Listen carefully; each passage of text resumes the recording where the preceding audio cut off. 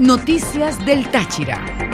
Pablo Ordóñez, patrona de nuestro estado Táchira y nuestra más grande y profunda fe y devoción como cristianos, como hijos de la Iglesia Católica.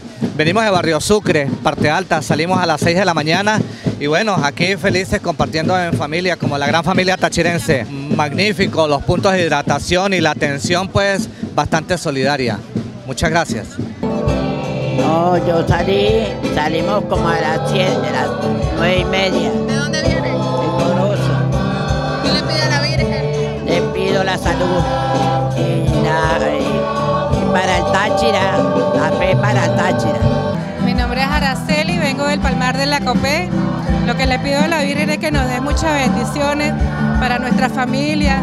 Eso es todo, muchas bendiciones para todos.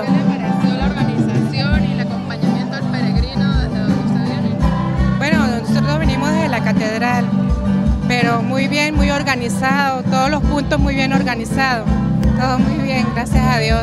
de San Cristóbal. Hoy estamos aquí en esta procesión acompañando a nuestra Virgen, a la Madre de los Andes, a nuestra Virgen de la Consolación, agradeciéndole a Dios por todos los favores recibidos.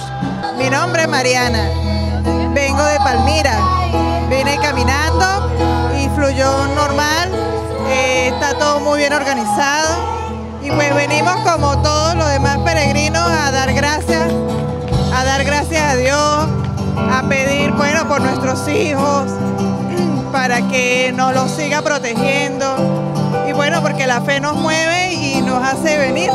Eh, Daisy Sanabria, eh, vengo de Barrancas, Parte Alta, municipio Cárdenas.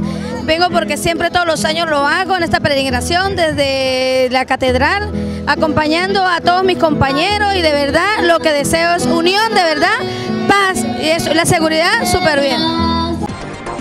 Noticias del Táchira.